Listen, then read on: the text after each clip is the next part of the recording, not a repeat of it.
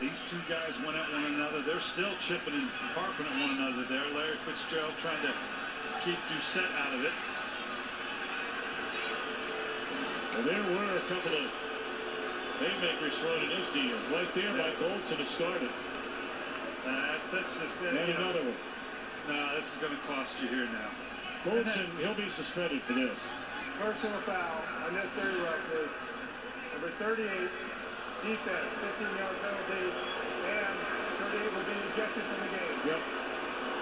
No doubt about that when he threw three punches at Early Doucet.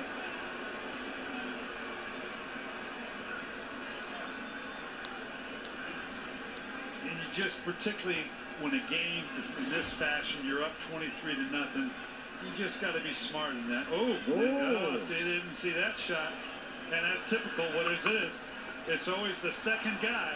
You got to be smarter than that in those situations. Well, it all started indeed with Doucet. That's a cheap shot.